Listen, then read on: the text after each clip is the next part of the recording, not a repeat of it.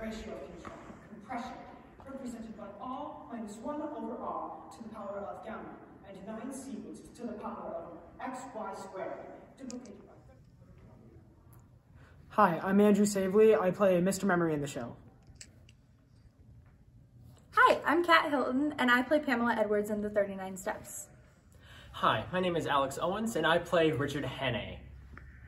Uh, my main character is a brainiac. He's kind of just a show person. He uh, memorizes a bunch of facts every day, and then people have to ask him things in the show, and he just lists off kind of almost like a robot all the facts he knows.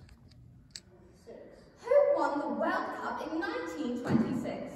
Who won the World Cup in 1926?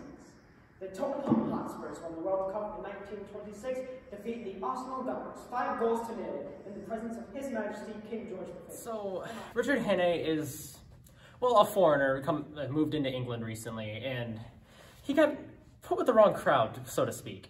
Some spy came in, woman flirted, and now he got stuck in the whole swing of things, basically, by the end of it. Well, my character is kind of just an average woman in the 1930s when suddenly this man, Richard Hannay, walks into her life and kisses her out of nowhere. It's crazy, right? And then for the whole entirety of the second act, she's kind of chained to him. She's like, I don't like him, but I'll deal with him. And eventually they kind of fall in love and they, they get married. That's me, Richard Hannay, in the sad story of my life. Irredeemable, irreplaceable.